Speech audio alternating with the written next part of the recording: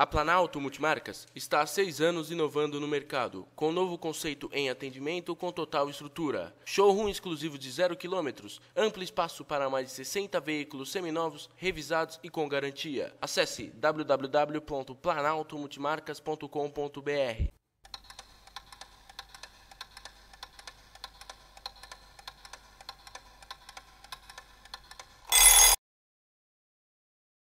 programa 5 Minutos de hoje é com a coordenadora de artes Lilian Zampol. Como surgiu seu interesse pelas artes?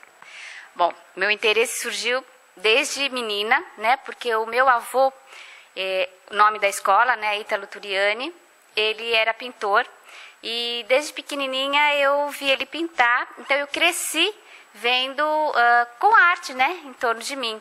Ele emprestava ou me dava os seus pincéis, as tintas que ele não usava mais, então, desde pequenininha eu cresci vendo arte, né? E desde então, pelo que me conheço por gente, eu sempre pintei, não, não sei fazer outra coisa. e como é que surgiu a escola? Bom, a escola surgiu é, muito antes da, da, da, escola né, da Prefeitura Municipal de Artes. Eu trabalhava autônoma, eu tinha um ateliê.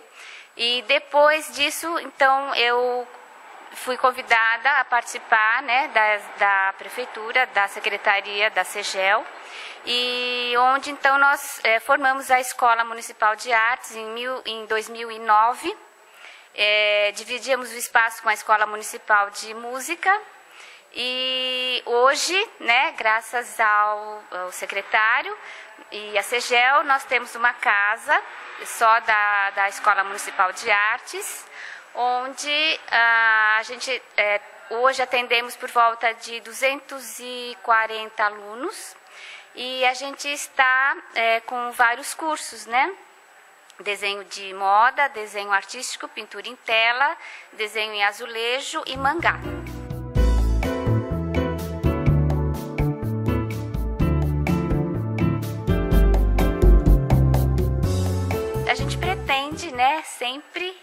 A gente almeja alcançar um número maior de alunos e um espaço maior também, que a gente possa atender mais pessoas.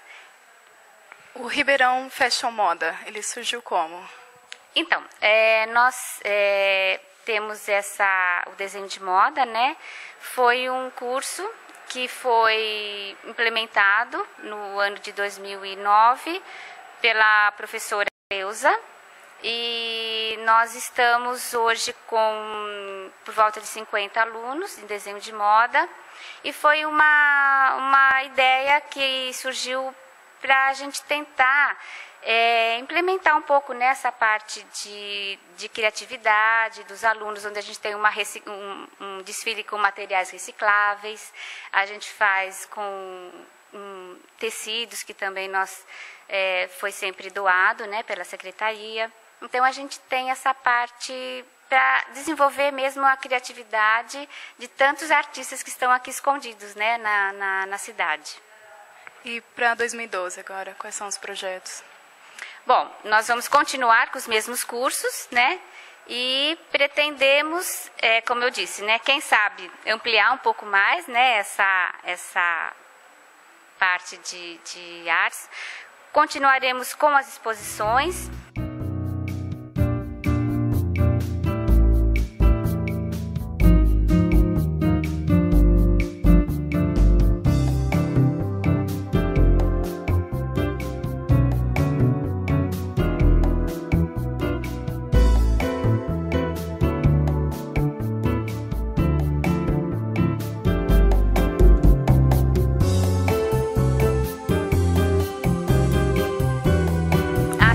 Secretaria CEGEL, ela também nos apoia muito, né? De acordo com o que precisamos, por exemplo, é, trabalhamos muito no Festival de Chocolate, nas decorações, trabalhamos na decoração de Natal. E esse ano a gente está com uma, uma ideia nova né, no Festival de Chocolate, na, na decoração de Natal também. Então já estamos trabalhando né, em cima disso.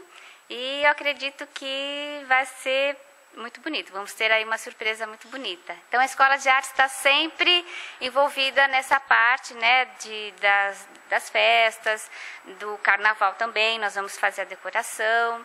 Então é sempre um, envol um envolvimento conjunto, né? Nós trabalhamos sempre em parceria com todas as outras diretorias.